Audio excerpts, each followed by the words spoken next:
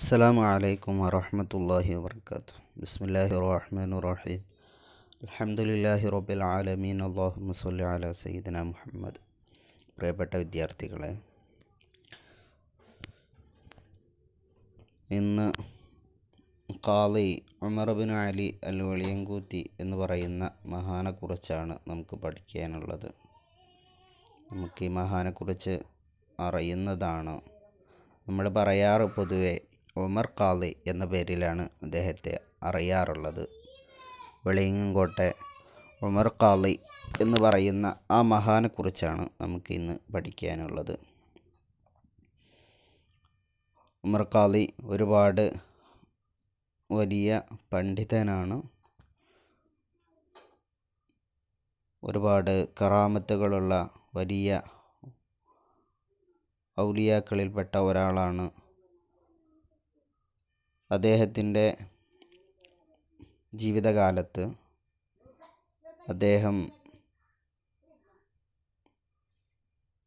പാശ്ചാത്യ സമൂഹത്തിനെതിരെ ഇന്ത്യയിൽ വന്നിട്ടുള്ള പാശ്ചാത്യർക്കെതിരെ പോരാടുകയും അവർക്കെതിരെ നടപടികളെടുക്കുകയും ചെയ്തിട്ടുള്ള വലിയ വ്യക്തിത്വമാണ് എല്ലാം നമുക്കറിയുന്നതാണ്. എന്താണ് നമ്മുടെ ഈ പാഠത്തിൽ പറയുന്നത് എന്ന് നമുക്ക് നോക്കാം. അദ്ദേഹം വലിയ ഒരു കവി കൂടിയാണ്. നമുക്കറിയാം അദ്ദേഹം റസൂലുള്ളാഹി സ്വല്ലല്ലാഹു അലൈഹി വസല്ലമ തങ്ങളെ കാണുന്നതിന് വേണ്ടി മദീനയിൽ പോവുകയും അവിടെ വെച്ച് റസൂലുള്ളാഹിയുടെ അവദാനങ്ങൾ പാടിപ്പറയുകയും ചെയ്ത സമയത്ത് ഒരുപാട് ഒരുപാട് ഒരുപാട് ഇഷ്ക് വെച്ച് പാടിയപ്പോൾ അവസാനം ഒരു ബൈത്ത് ചെല്ലുന്ന സമയത്ത് റൗലയുടെ വാതിൽ താനെ തുറന്നു എന്നുള്ള ചരിത്രം നമ്മളെല്ലാവരും കേട്ടിട്ടുള്ളവരാണ്. ആ വലിയ മഹാനെക്കുറിച്ചാണ് നമുക്കിന്ന് പഠിക്കാനുള്ളത്.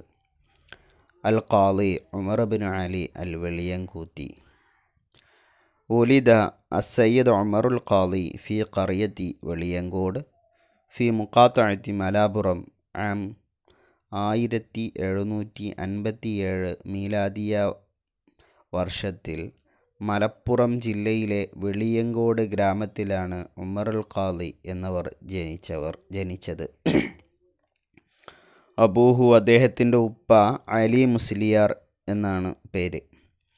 കാന ആലിമൻ മഷ്ഹൂറൻ അദ്ദേഹം വലിയ പണ്ഡിതനായിരുന്നു.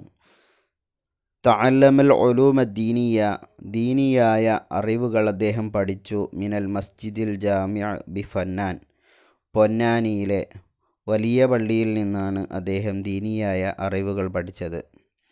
ഖറഅൽ ഒലൂമ അല ഷെയ്യൂഖ് അൽ മഷ്ഹൂരീൻ ഫി വിലായത്തി കേരള. ഖറഅൽ ഒലൂമ അറിവ് നേടി അല ഷെയ്യൂഖി അൽ മഷ്ഹൂരീൻ പ്രസിദ്ധരായ ഷെയ്ഖുമാരിൽ നിന്ന് ഫി വിലായത്തി കേരള. കേരളത്തിലുള്ള അങ്ങോളം ഇങ്ങോളമുള്ള ഒരുപാട് പ്രസിദ്ധരായ ഷെയ്ഖന്മാരിൽ നിന്നും അദ്ദേഹം അറിവ് പഠിച്ചിട്ടുണ്ട്. കാന ലിൽ ഖാലി ഖാലിക്കുണ്ടായിരുന്നു ഖാലി എന്ന് പറഞ്ഞാൽ അമർ ഖാലിക്കുണ്ടായിരുന്നു അലാഖത്തുൻ കവിയ ബി ഉലമാ ഇ അസ്രിഹി ഫി ദാഖിലുൽ ഹിന്ദി വ ഖാരിജിഹ. ഇന്ത്യക്കകത്തും പുറത്തുമുള്ള ആ കാലഘട്ടത്തിലെ പണ്ഡിതന്മാരുമായി ശക്തമായ ബന്ധമുണ്ടായിരുന്നു. അലാഖത്തുൻ കവിയ ശക്തമായ ബന്ധം. ബി ഉലമ ഇ അസ്രിഹി അദ്ദേഹത്തിന്റെ കാലഘട്ടത്തിലെ പണ്ഡിതന്മാരുമായി ഫി ദാഖിലുൽ ഹിന്ദി വ ഖാരിജിഹ ഇന്ത്യയുടെ അകത്തും പുറത്തും.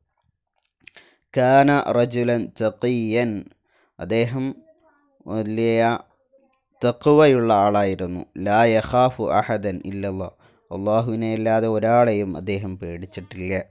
വഹുവല്ലതി ലൊഹറമിനൽ ഒലമാ ഈ അദ്ദേഹമാണ് ആദ്യമായി പണ്ഡിതന്മാരിൽ നിന്നും ആദ്യമായി പ്രത്യക്ഷപ്പെട്ടത്. ലി മുജ ലി മുഹാറബത്തിൽ ഹുക്കൂമത്തിൽ ഇഞ്ചിലിസിയ ഇംഗ്ലീഷ് ഭരണത്തിനെതിരെ.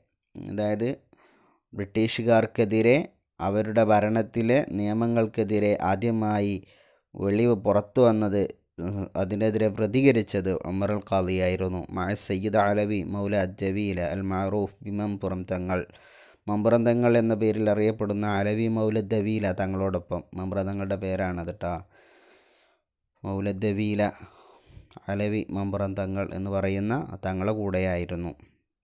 തങ്ങളുടെ കൂട്ടുകാരനായിരുന്നു ഉമർ അൽ ഖാദി. ശിഷ്യൻ കൂടിയായിരുന്നു ഉമർ മമ്പറം തങ്ങളുടെ ശിഷ്യനാണ് ഉമർ അൽ ഖാദി തങ്ങൾ. അതുപോലെ പൊന്നാനിയിലെ മഹദും തങ്ങമാരുടെ ശിഷ്യൻ കൂടിയാണ് ഉമർ അൽ ഖാദി തങ്ങൾ. അപ്പോൾ അവരുടെയൊക്കെ ആശീർവാദത്തോടു കൂടെ അവരോട് കൂടെ ഇംഗ്ലീഷുകാർക്കെതിരെ ആദ്യമായി പടപുരുത്തിയ വ്യക്തിയായിരുന്നു ഉമർ അൽ ഖാദി. വൈരി ഹീമിനൽ ഒലമ യൂസു അമ പണ്ഡിതന്മാരും നേതാക്കളൊക്കെ കൂടെ മൃതങ്ങളും അല്ലാത്ത പണ്ഡിതന്മാരും നേതാക്കന്മാരുടെയൊക്കെ കൂടെ ഇംഗ്ലീഷുകാർക്കെതിരെ ആദ്യമായി പുറത്തു വന്ന വ്യക്തികളിൽ ഒരാളായിരുന്നു. ലഹു അഷാറും കസീറ അദ്ദേഹത്തിന് ഒരുപാട് ഷെയറുകളുണ്ട് കവിതകൾ. എലീഫാത്തിന് അതീത ഒരുപാട് കിതാബുകൾ രചിച്ചിട്ടുണ്ട്. ഫിൽഫിഖി കർമ്മശാസ്ത്രത്തിലും തസവൂഫി തസവൂഫിലും മദഹ് റസൂൽ റസൂല്ലാഹി സ്വല്ലല്ലാഹു അലൈഹി സ്വലമിന്റെ മദഹുകളിലും തസവൂഫിലും കർമ്മശാസ്ത്രത്തിലും എല്ലാം അദ്ദേഹത്തിന് ഒരുപാട് കിതാബുകളുണ്ട് എന്നൊക്കെയാണ് പറയുന്നത്.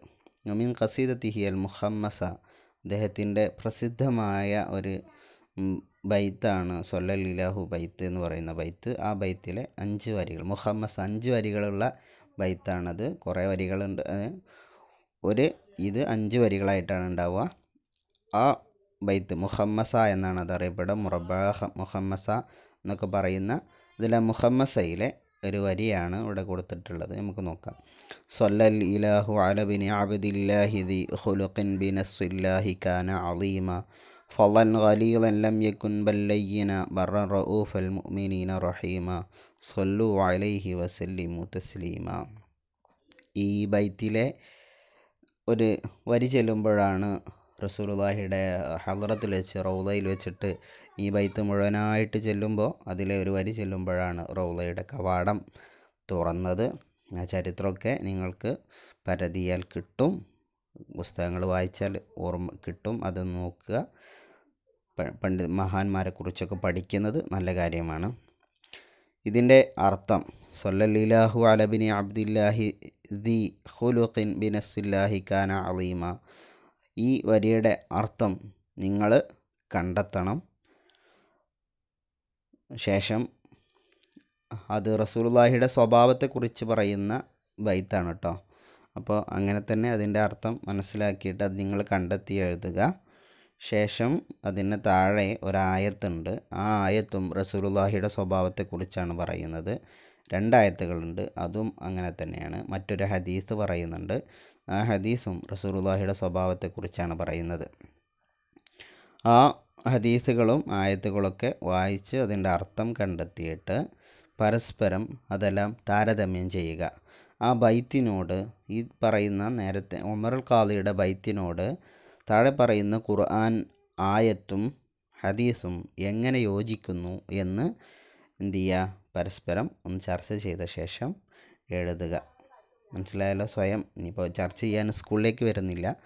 പരസ് നിങ്ങൾ സ്വയം ഒന്ന് അതിനെ താരതമ്യം ചെയ്തിട്ട് എങ്ങനെയൊക്കെയാണ് അതിന്റെ കാര്യങ്ങൾ എന്ന് വൃത്തിയായിട്ട് നോട്ട് പുസ്തകത്തിൽ എഴുതുക. ഇൻഷാല്ല അടുത്ത ക്ലാസ്സിൽ നമുക്ക് ബൈത്ത് കേരള എന്നുള്ള ബൈത്ത് എടുക്കണം. ഈ പാഠം കുറച്ച് നീളം ദീർഘമേറിയ പാഠമാണ് അപ്പോൾ ഇൻഷാല്ല അടുത്ത ക്ലാസ്സിൽ ബാക്കി കാര്യങ്ങൾ പറയും. അപ്പോൾ പറഞ്ഞ കാര്യം മറക്കണ്ട. ഈ സൊല്ലലീലാഹു എന്ന ബൈത്തിന്റെ അർത്ഥം അതുപോലെ ആ ഖുർആൻ ആയത്തിന്റെ അർത്ഥം രണ്ടായത്തുകളുടെയും അർത്ഥം ഹദീസിന്റെ അർത്ഥം കണ്ടെത്തിയിട്ട് താരതമ്യം ചെയ്ത് അതിലെ ഇത് എഴുതുക.